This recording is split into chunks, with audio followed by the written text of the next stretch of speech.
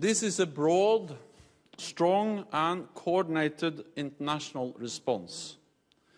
And as part of that response, NATO is unified in taking further steps.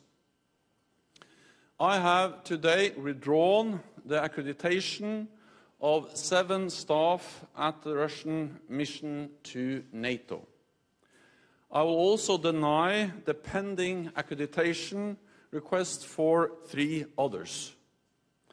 And the North Atlantic Council has reduced the maximum size of the Russian mission to NATO by 10 people in line with my decision. This will bring the maximum size down to 20.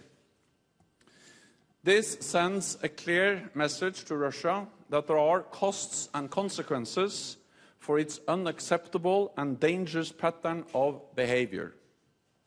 And it follows Russia's lack of constructive response to what happened in Salisbury. Well, uh, Mark Stone from Sky News. A couple of questions, if I may. Uh, uh, Well, Russia will still have uh, a diplomatic mission to NATO, and the size of that mission, maximum uh, 20 uh, diplomats, is big enough uh, to facilitate a political dialogue with uh, Russia, uh, with NATO, between uh, NATO and Russia.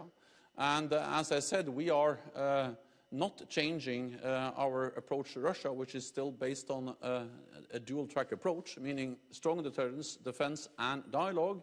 And we will continue to prepare for the next meeting of the NATO Russia uh, Council.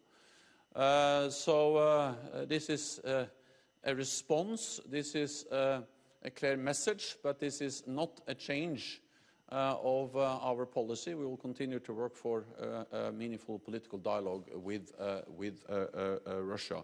Thank you. you.